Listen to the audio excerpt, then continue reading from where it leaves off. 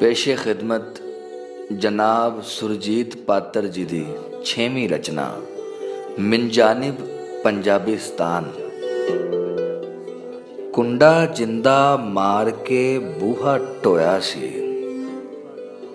ਕੁੰਡਾ ਜਿੰਦਾ ਮਾਰ ਕੇ ਬੂਹਾ ਟੋਇਆ ਸੀ। ਉੱਤੇ ਜੀ ਆਇਆਂ ਨੂੰ ਲਿਖਿਆ ਹੋਇਆ ਸੀ। ਵਾਇਲਨ ਦਾ ਗਜ਼ ਫੇਰ ਰਿਹਾ ਸੀ ਸਿੱਖਾਂ ਤੇ।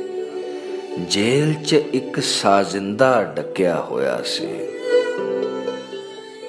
ਪਹਿਲਾਂ ਸਾਡੀ ਧੌਣ ਤੋਂ ਸੀਸ ਉਡਾ ਦਿੱਤਾ। ਪਿੱਛੋਂ ਉਸ ਦੀ ਖਾਤਰ ਹਾਰ ਪਰੋਇਆ ਸੀ।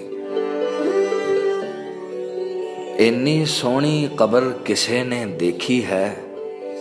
ਤਨ ਜਿੰਦਾ ਸੀ, ਤਨ ਅੰਦਰ ਮਨ ਮੋਇਆ ਸੀ। ਅਥਰੂ ਟੈਸਟ ਟਿਊਬ ਚ ਪਾ ਕੇ ਵੇਖਾਂਗੇ। ਅਥਰੂ ਟੈਸਟ ਟਿਊਬ ਚ ਪਾ ਕੇ ਵੇਖਾਂਗੇ। ਕੱਲ ਰਾਤੀ ਤੂੰ ਕਿਸ ਮਹਿਬੂਬ ਨੂੰ ਰੋਇਆ ਸੀ? ਕੁੰਡਾ ਜਿੰਦਾ ਮਾਰ ਕੇ ਬੂਹਾ ਟੋਇਆ ਸੀ।